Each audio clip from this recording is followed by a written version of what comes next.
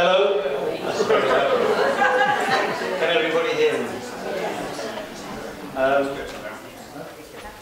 ready? So I'm going to hand over to Colin, who's going to sit here and chair and chair the discussion. Are you going to cheer us up? Not sure about that. Uh, hello everyone, uh, welcome back. Um, I knew I was going to chair this about 10 seconds ago, so bear with me. Um, do you want to ask for comments or should we? Yeah. Um, is there anything you want to say, uh, Christine, before we go to the speakers? Okay. Um, we had two speakers, Dr Bob Gill, who I'm sure you saw in the film, and Dr Paul Hobday, who has a book at the back if you want to buy one. Um, but who would like to go first, Paul or, or Bob? Paul's first. I'll see if I can do without that um, at first. See if you can all hear me. Yes? Yeah. Yeah. Uh, thank you for inviting me, Christine. Yeah. I'm, I'm Paul Hobday. I was a GP in Kent for 30 years or so. Um, let me start with this. Rob was an experienced GP who was beginning to get increasingly despairing and upset about the extra illness and pathology he saw on a daily basis. He realised this was a direct result of government policies, all governments. Rob became a doctor and a GP because of the NHS. He never wanted to work in any other system. But to see it being dismantled and obstacles put in the way of his efforts to help people made him very angry. It took him a long time to re recognise and understand the long-term clandestine plan to commercialise healthcare so that a small group can make their fortunes. Now, I've just read the first paragraph of the synopsis of this, this massive great book that uh, is called The Deceit Syndrome, which was written for one purpose only, and that was to get the message across to the public about how our NHS is being Americanised. Rob could be me, it could be Bob here, it could be any GP, I think.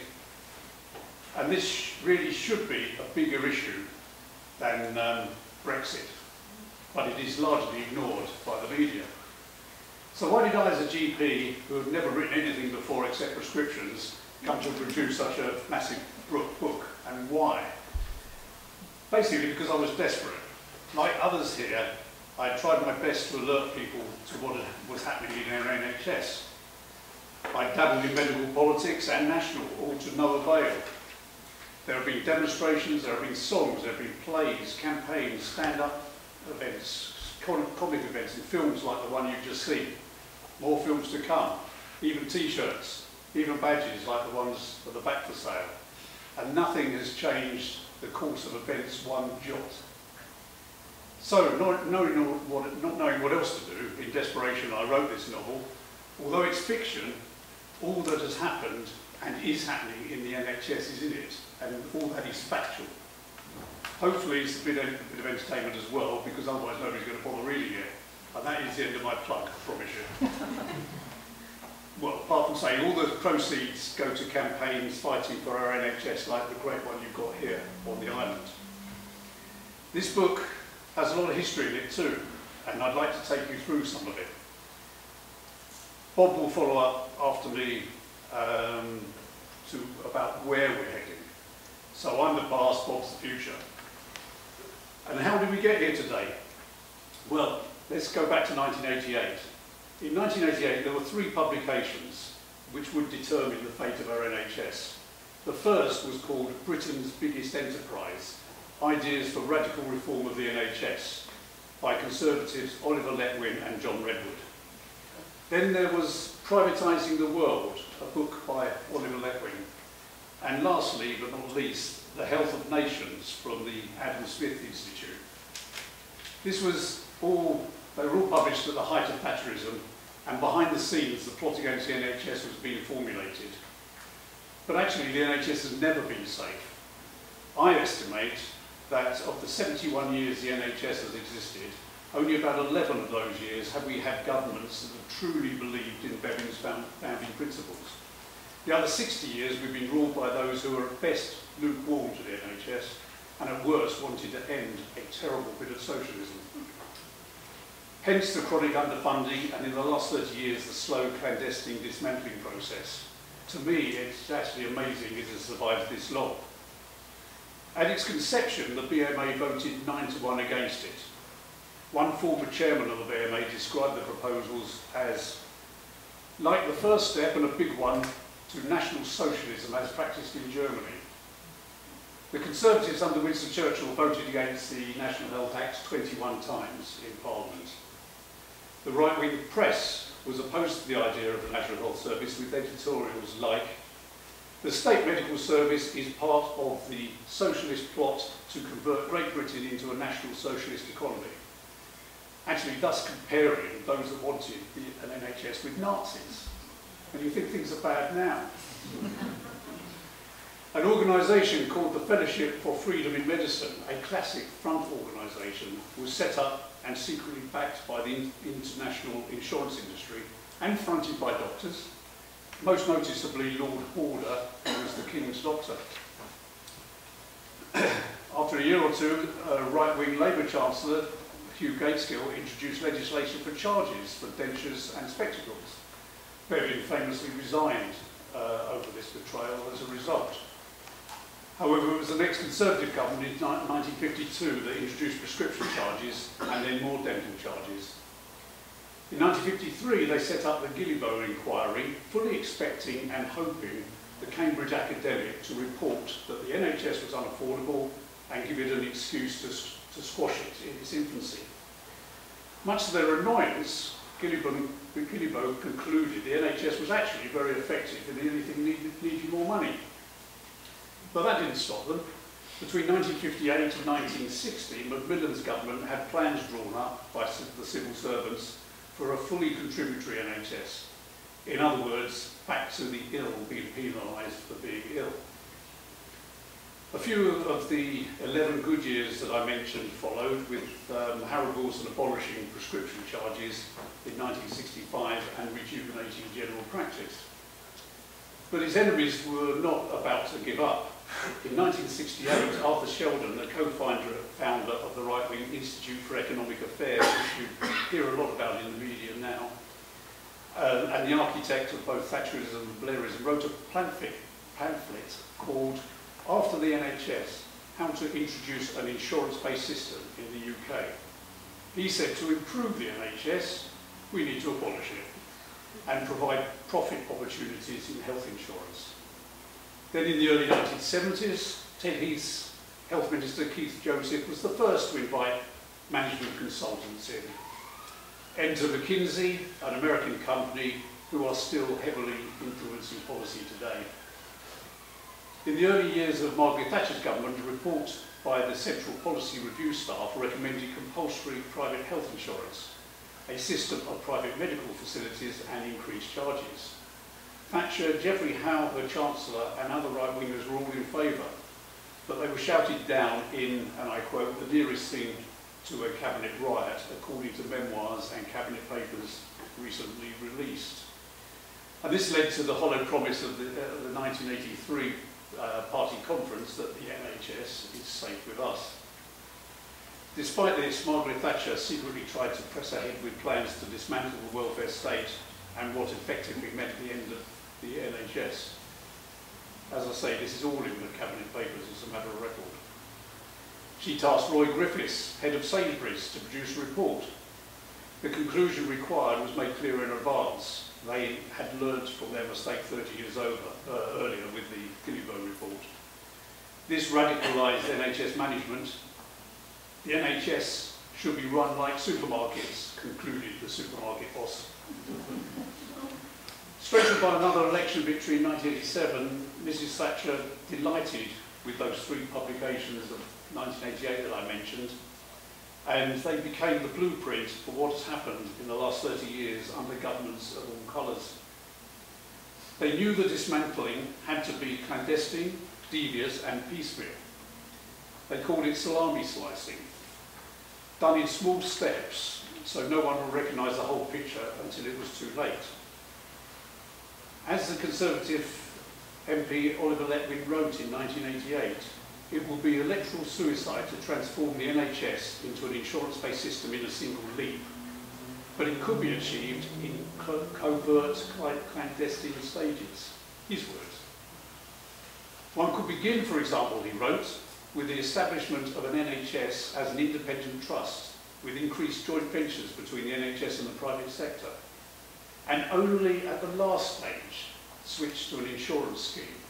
Note that, only at the last stage switch to an insurance scheme.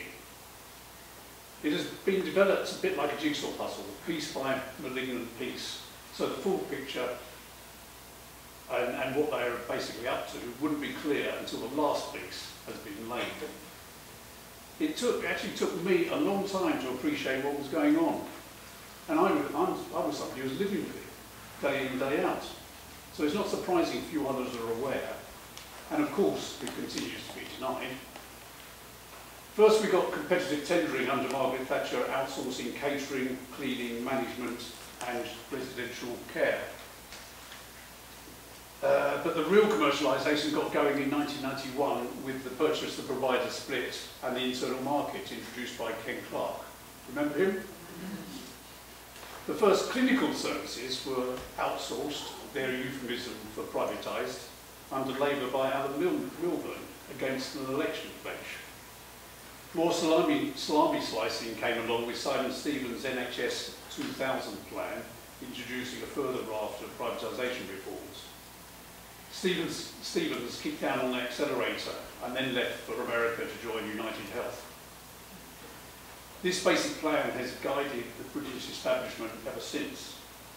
Much of this has been masterminded by McKinsey, the US management consultants. Some MPs have actually worked for them. Many other key, key players have gone through the revolving door of the NHS to private companies, back to the NHS to private companies and so forth. Our NHS boss, Mark Britnell, went to KPMG and he was quoted as saying, in future the NHS will be a state insurance provider, not a deliverer. Alan Milburn, Secretary of State for quite a few years, went straight to Bridgepoint Capital and financed private healthcare firms moving into the NHS. Not forgetting his jobs with Price Waterhouse Cooper and uh, Lloyd's Pharmacy. Patricia Hewitt went straight to a lucrative job with Boots. John Reid worked, worked, for G4S, who, surprise, surprise, now run ambulance services. Not, the list goes on, but I won't bore you too much. Lansley, he's joined private companies as well.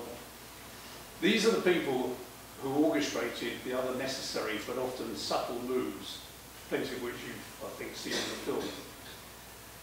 Starting with turning hospitals into businesses called trusts, outsourcing to private businesses operating under the NHS logo, buying in services such as hip replacement surgery from the private sector at inflated prices, the introduction of independent sector treatment centres, the 2012 Health and Social Care Act making tendering compulsory, the running down of general practice.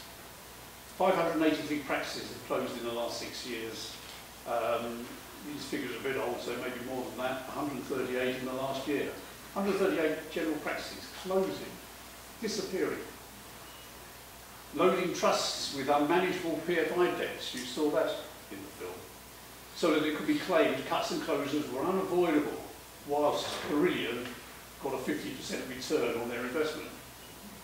It was all in sell-off, and it's worth repeating that for every one PFI hospital, three publicly funded hospitals could have been built. 11 billion pounds of assets will cost the taxpayer 88 billion pounds. Then part of the other changes, changing the law so that hospitals can go bust. Introducing personal budgets. Now these are necessary for the introduction of a private insurance-based system. The grab of confidential data for insurance companies. And believe me, some of your private data is with insurance companies now. Turning doctors from decision makers to decision implementers. Now that's important because although doctors are only a small proportion of the NHS workforce, they account for about 80% of the nation's health spend. So their plan was power has to be taken away from doctors. So they make them implementers, not decision makers. Setting up 44 STPs, which I'm sure you've now heard of, uh, to ration and cut services. Close hospitals and departments, reduced A&E from about 140 in England down to between 40 and 70. 40 if they can get away with it. In 1948, there were 480,000 beds in the NHS. We're down to 120,000, and they want to cut it by another 20,000 to get it down to 100,000. So the beds have gone down to a fifth of what they were, while the population has gone up by a third. Then there was the Naylor report, some of you may have heard about that, a massive transfer of NHS assets into private hands, giving away our land to private companies on the cheap.